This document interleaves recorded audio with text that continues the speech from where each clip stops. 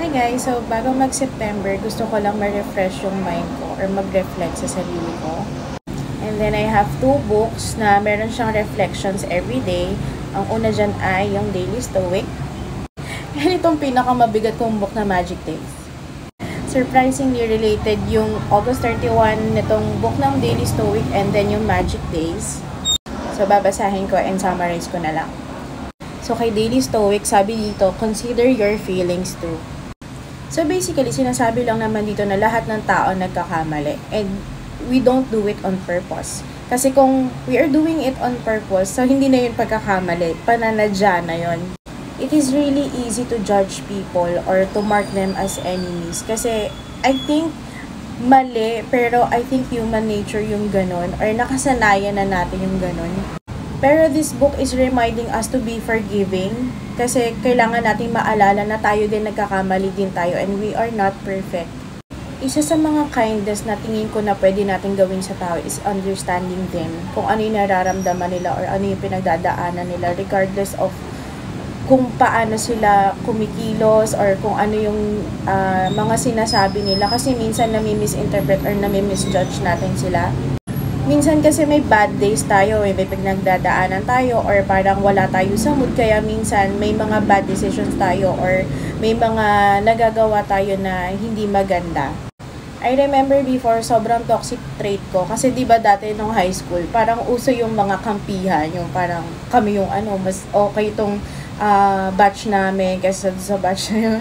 parang gano'n, laging, laging gano'n. Tapos, ang tendency, parang laging magkakaaway talaga yung, yung first year, second year, third year, mga ganyan.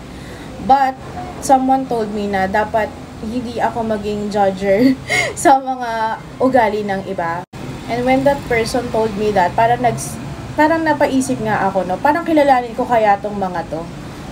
So, kahit na may silent wars, yung batch namin versus sa ibang batch, I try to be friends with them. Yung mga hindi ko kaklase. And it turns out na super okay pala nila, yung super bait nila. And from then on, I had this belief na, uh, di ba dati parang ang mga sinasabi sa atin is, magtiwala ka kapag na-earn na yung trust mo. Ako, iba ako. Parang nauuna lagi yung trust ko. Kasi wala ka pa namang ginagawa masama. Laging parang uh, kahit sinong tao or kahit bagong kakilala, 100% agad yung trust ko sa'yo unless unless na mabawasan mo siya, unless na may gawin ka sa akin na, na masama or may gawin ka sa akin kasi nungalingan, dun lang bababa yung trust or as in mawawala na talaga lahat. Sabi nga nila, hindi mo alam ang mga pinagdadaanan ng isang tao. Kaya, every day, you try to be kind to other people. Sabi naman dito sa Magic Days, today's mantra, By admitting that I don't know everything, I can listen with humility. So, in connection dun sa daily stoic, di ba sabi doon, intindihin mo na nagkakamali din yung ibang tao kasi ikaw nagkakamali ka din. Dito naman sa Magic Days, feeling ko ang sinasabi niya is huwag kang mayabang. It is not healthy to compare yourself to others. Never think that you are better than everybody else. Hindi porke may narating ka na tapos yung kaibigan mo or uh, family member na kasama mo or relative mo on process pa lang eh mayabang ka na or tingin mo sa sarili mo eh mataas ka na. You should always remind yourself na kahit na may narating ka na, marami ka pang dapat matutunan, marami ka pang pagdadaanan, hindi ka pa dun sa level na talagang, ano mo, yun yung titingalain ka talaga you should always understand na lahat ng tao may kanya-kanyang timing yan. So, kung nauna ka, well then good, happy for you, di ba? Nakaka-proud talaga yung ganon. Pero that doesn't mean that you have to, the license naman na parang ibaba yung ibang tao or hilahin sila pababa or parang mawala yung confidence nila dahil sa'yo. So basically, sinasabi dito na intindihin talaga yung ibang tao, lalo na yung mga tao sa paligid mo like friends, family, relatives, etc.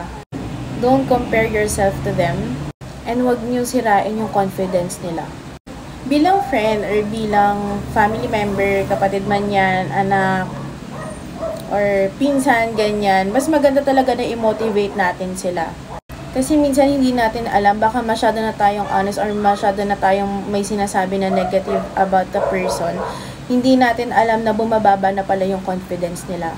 So, in relation to this, sobrang haba na nito, pero I will just try to uh, really thorough in this.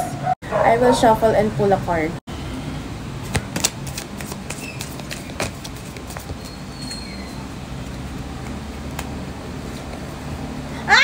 Ayan. Who am I ready to forgive? Sobrang sakto.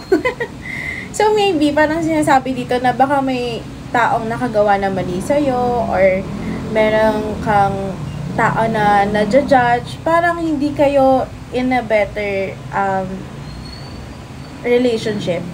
Siguro sa sobrang inis mo sa kanya, yung mga pagkakamali na lang yung nakikita mo. Tapos hindi ka pala nagre-reflect sa sarili mo na baka may pagkakamali ka rin pala. Sabi ka nga kanina, 'di ba? Humility.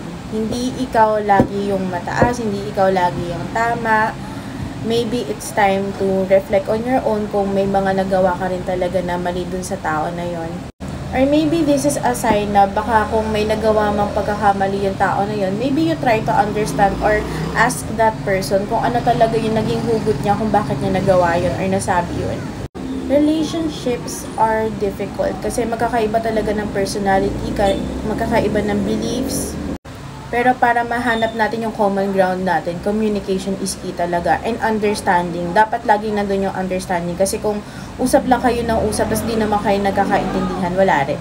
Pero re-remind ko lang din kayo na may limit ang lahat.